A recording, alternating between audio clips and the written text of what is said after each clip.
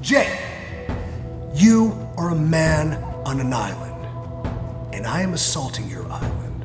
They say you want to take the island. Guess what? You have to burn the boats. And I will burn those boats in a fire of regret from the past because Jay Briscoe, I want you to defend that island. Jay Briscoe, I want your absolute best because there is honor in beating a man of your caliber in a fight. Jay Briscoe, I want you to defend this island like your life depends on it because mine does to take it. EC3, you just mosey on in here, man. You talking about control your narrative. What son? How long has it took for you to figure that out? I can't tell you how many times WWE has called us wanting us to come. WWE offered us deals, max level NXT deals. You know what I told them?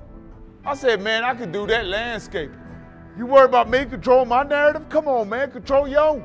How many times you done went up there and tried to become a superstar? That superstar bullshit.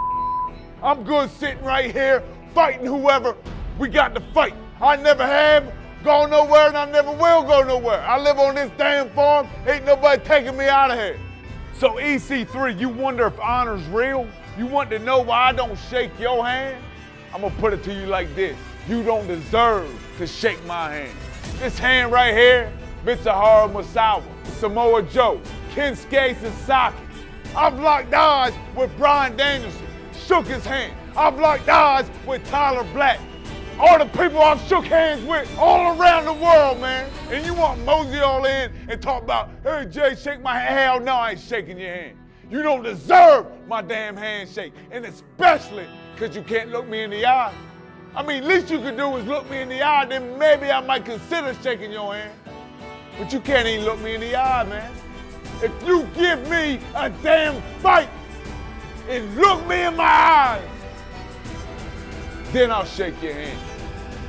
But only after I whoop your ass. Prove to me honor is real, for I will extend my hand, and the choice will be yours.